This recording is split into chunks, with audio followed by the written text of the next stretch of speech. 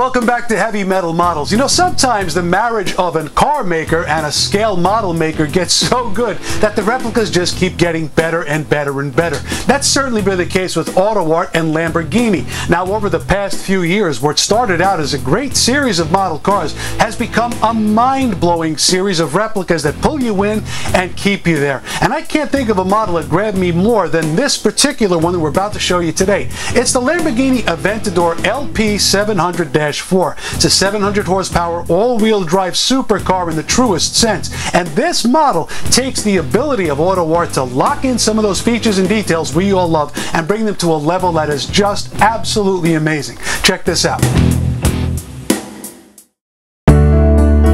Supercars deserve supermodels, and AutoArt and the Aventador make a perfect couple. Though I've seen this car in a couple of different colors, this red really sings out on display, thanks to its dead even finish and the perfect fit of all the opening panels and detail parts, all of which are installed to tolerances usually seen on models with sealed resin bodies. There's quite a lot going on on this one, so you'll want to take a minute and read the included cheat sheet in the owner's pamphlet before you go and try to work anything.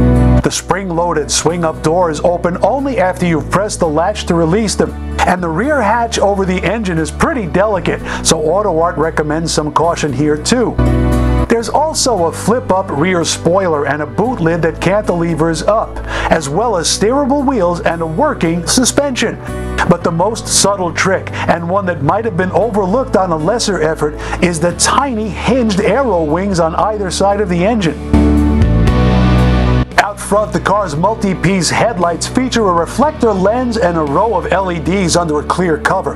And the tiny Lambo Bull is done in a sweet little recessed cloisonne set into the nose.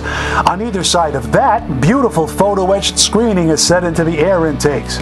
More screening lives in the side scoops for the radiators, and even more meshes in the house at the rear, set just below the impeccably done taillights. More metal makes up the badging on the car's tail and the LP700-4 signage on its rockers. Pick the car up and spin the hatchet-spoked wheels and a set of carbon fiber brake discs pass through red-painted Lamborghini calipers. When you're done giggling, check out the tiny gold foil emblem at the wheel centers. If they've missed a trick anywhere on this car's body and trim, I haven't seen it. Behind those swinging doors is a well-done cockpit with low-slung seats and metallized trim. The center stack is booming with detail and switchgear, and the gauge cluster in the simulated leather dash, replete with red piping, is set into a full-on recreation boasting fabric seatbelts, photo-etched paddle shifters, and even a set of reflectors set into the door bottoms. Hey, you can never be too safe. If you're auto art, you can never be too detailed either. The 700 horse, 6.5 liter V12 under that stealth profile glass hatch is crawling with things to see, starting with the carbon fiber valley cover between the air intakes, complete to its tamped on firing order label, and going deeper with lots of plastic and vinyl hoses and cable. And the screening at the rear and sweet, smooth hinge assemblies up top are as complex and authentic as the rest of the area. The same goes for the boot. The trick hinges haul the lid up and forward, and two friction struts kept it there while I checked out the carpeted well, the full weather seal gasketing, and the neatly molded and painted area surrounding the trunk. Under the car, the deceptively smooth belly pan is actually well detailed with fasteners, ducts, and a carbon fiber pattern that ends in the Aventador's distinctive and well done here exhaust port. In a word, wow.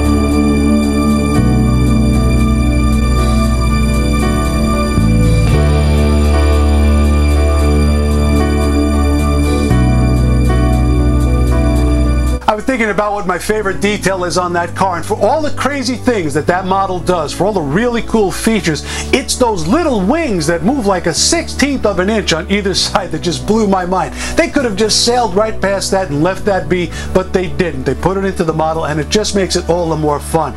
They keep getting better and better, and in an era when a lot of manufacturers are going toward resin-bodied cars to bring out images, AutoArt has steadfastly stayed the course, and they keep making diecast models better. In fact, they've even carried that into their 143rd, and we will be showing you some of those over the next several months. I give this car a full five Henrys. It's an amazing model car. It's not inexpensive, but man, there isn't a part of this model that you look at and you go, wow, they went cheap.